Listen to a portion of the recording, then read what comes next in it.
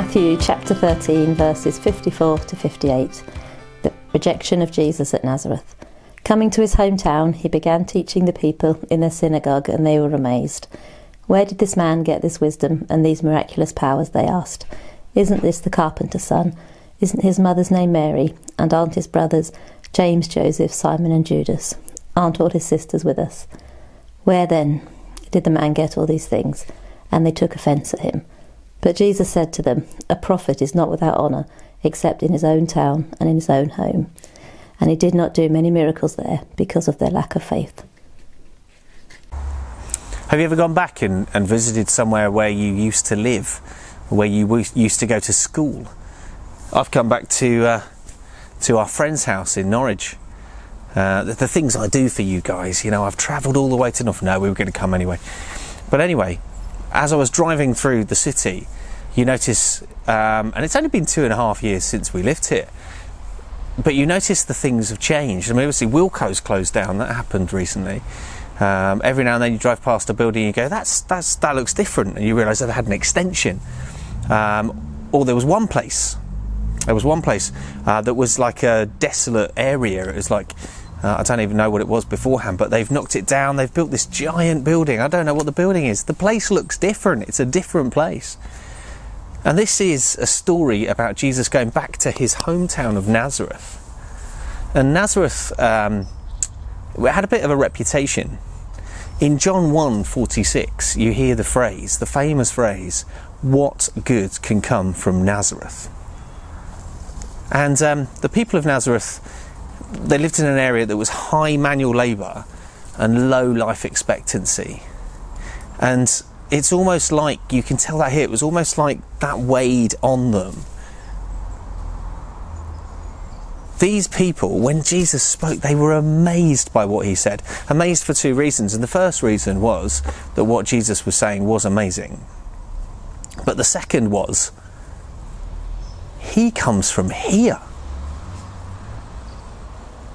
But, but we know his family. Why is he so different? He's not from round here anymore. Isn't he isn't this Jesus? Isn't he the son of the carpenter? Well, that suggests that his father sadly may have passed away. Life expectancy in areas such as Nazareth was really low, and he doesn't get mentioned. It says that carpenter's son, the son of Mary. You know, that means maybe Joseph's no longer with us. And that tells you something about the area of Nazareth as well. But they were saying, This son of Mary, we, we know his brothers, we know his sisters. This Jesus is not like them. He's changed. It says in verse 57 they took offence at him. And the word we sort of translate as offence into English is the word scandalizo in Greek. And it literally, it's where we get the word scandalised from. They were scandalised by, the, by this idea that this local lad has got ideas above his station. He's got a bit upmarket, he's looking down on us. But Jesus only had love for them. Their view of themselves and their position had made their eyes dull to who was stood in front of them, made their eyes, their ears dull to the message he had, made their hearts hardened. They couldn't see what was in front of them due to what had been said over them. And the fact that they were talked down to, they were looked down on, as we see in John 1, what good can come out of Nazareth?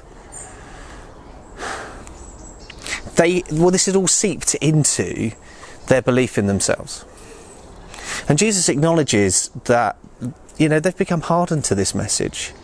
They blocked him out. They rejected him. His own people rejected him because he didn't fit their view of someone who comes from nazareth so jesus rejected he chooses not to perform the miracles here because the people were not in the right frame of mind to receive them. Their faith was little. They were impressed by this message, but impressed in a way it's like, oh my word, someone around here, they don't speak like this. A preacher, we don't have preachers around here, we are working folk. Their ears, their eyes, their heart, they were not in the place to receive the message. And it meant that Jesus didn't perform the miracles there that he performed elsewhere. Come on.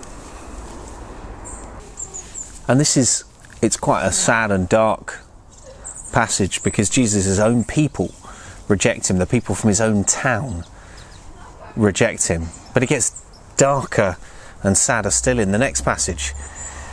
But that's for another time. So, what can we learn from this passage?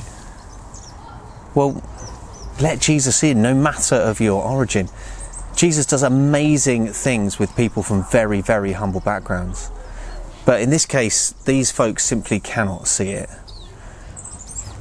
Now, I was born to a gardener. My dad and my mum was a nurse, and um, she was uh, she was battling with a disability when I was younger, and we had no money at all. But yet, we lived in rural Cambridgeshire, which was quite upmarket, quite posh. And I was teased because of my family's supposed poverty. Uh, it was really hard living in a really wealthy area and not being wealthy. But I need to make sure that I look past my supposedly humble background. I need to make sure that, uh, you know, I don't sit there and think that uh, people are above my station or others are below my station. This whole class system, uh, I really struggle with it. I need to make sure that I don't let that become a blockage to what God wants to do with me or for others in similar situations or you know also from lofty situations or lowly ones every time I head home back to Cambridgeshire they're a little reminder that people really spoke down to me at school and um, there were moments that I love that I remember, but there's also moments that are really, really sad as well. We've got to make sure that we don't let our background get in the way of our future. Jesus won't if we won't. Whether that's a position of humility or a position of privilege. What's most important is not where we came from, but who we are journeying with.